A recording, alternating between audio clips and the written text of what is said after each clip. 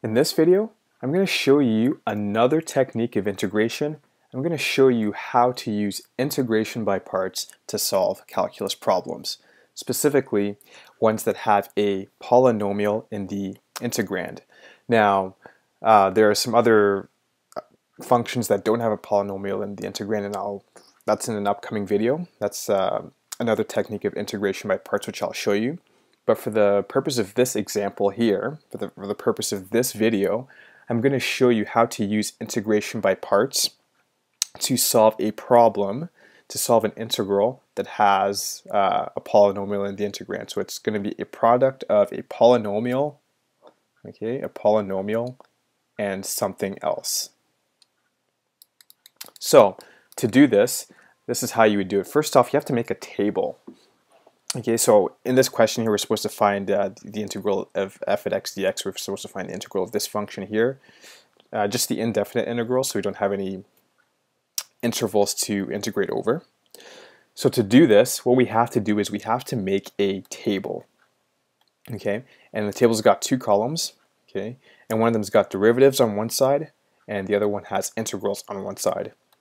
Whenever you're performing integration by parts that involves the product of a polynomial and something else, like a sine function, you always want to make sure that you have the polynomial in the derivatives column. So what do I mean by that? So here, x squared, what you're going to do is you're going to take the, the derivative of f, x squared, so it goes to 2x. You're going to take the derivative of 2x, it goes to 2. And you're going to take the derivative of 2, and it goes to 0. So you're just going to keep taking the derivative until you get to 0. That's where you stop. And then on the integral side, you're going to keep taking the integral. So you're going to take the integral of sine 2x plus 1. You get this uh, cosine function here. You're going to take the integral of this function. You're going to get this sine function. And then you get the you take the integral of this sine function and you get this cos function here.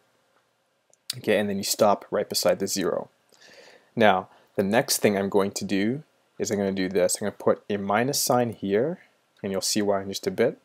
I'm put a plus sign here, and a minus. You can alternate minus, plus, minus, and if the columns go on and on, you just keep going minus, plus, minus, plus, minus, plus until you get to the zero. So there we have it right here. And then the next step is I'm going to draw arrows. Okay. So I'm going to draw an arrow from the x squared, okay, from the top, pointing to this cos here, and then I'm going to draw an arrow from this 2x pointing here. And I'm going to draw an arrow from this to pointing here. So why is that important? Well, the reason why is because it tells us how to organize our uh, of our integral. Okay, so when we go ahead and solve this, okay, and I'll, I'll show you what uh, what all this means. Okay, so when we have the integral of x squared times sine 2x plus 1 dx. This is what we are going to do.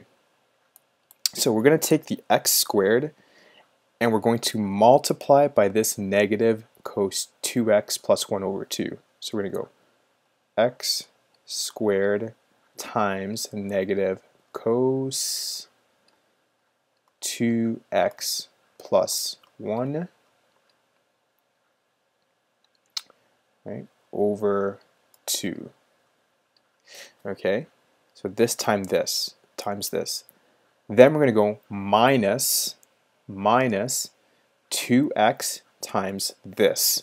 So we're going to be minus 2x times negative sine, negative sine 2x plus 1 over 4.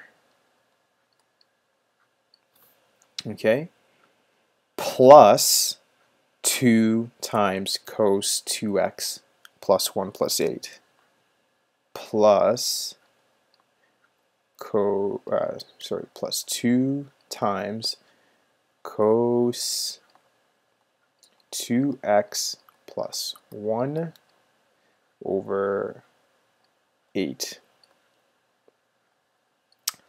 plus c. And that is our integral. Okay, that is integration by parts. So what we can do is we can simplify this. I'm not going to go through all the steps for simplifying. I'm just going to go right to the final. And what it will, it will look like at the end. So it'll look like this. It'll look like negative x squared cos 2x plus 1 divided by 2 plus x sine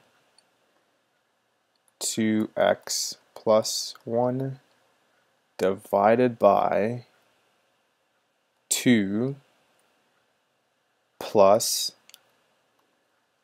cos 2x plus 1 divided by 4 plus c. Okay, and this right here is our answer. This entire expression here. That is the integral. So, I'm going to scroll down and we're going to do another example of um, integration by parts.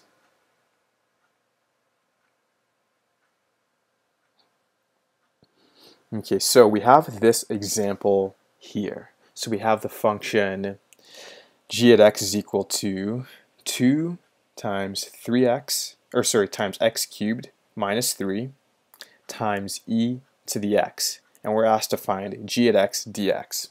So as you can see here, I've created my table of derivatives and integrals.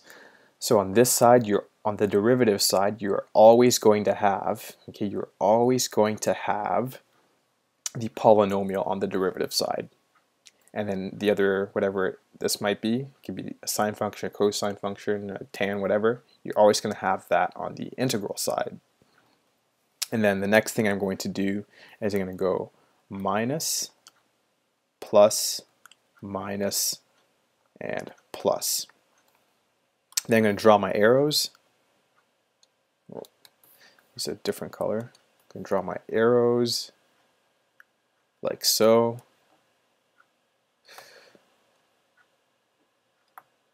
And like so. Okay, and then we can go ahead and evaluate our integral.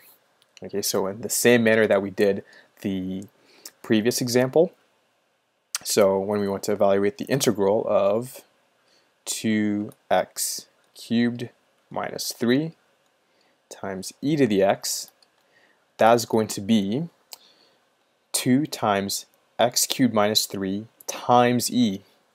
Okay, so 2 times x cubed minus 3 times e to the x. Okay, minus 6x squared times e to the x minus 6x squared times e to the x okay? Plus 12x times e to the x. Plus 12x times e to the power of x minus 12 times e to the x. Minus 12 times e to the power of x. Okay, and then we're going to put our plus c at the end. Okay, and the reason why we stop here is because if you go plus e times, uh, sorry, yes, plus uh, 0 times e to the x, that's just going to be 0, so that's why we stop there. And so if we were to simplify it, like this, this is exactly our uh, integral right here. But if we wanted to make this look even nicer, we can simplify. We can factor out the e, get e to the x, and of course we'd open up this bracket and collect the terms. We would get this function here, e to the x times 2x to the power of 3 minus 6x squared plus 12x minus minus 15, 15 plus c. And this right here is our answer. So there you go. There you have it. That is integration by parts. Be sure to see the next video, which involves integration by parts. We're going to talk about uh, where it's going to be the integrand, or sorry, where the integrand includes a polynomial and a logarithmic function, because it is slightly different than this method here.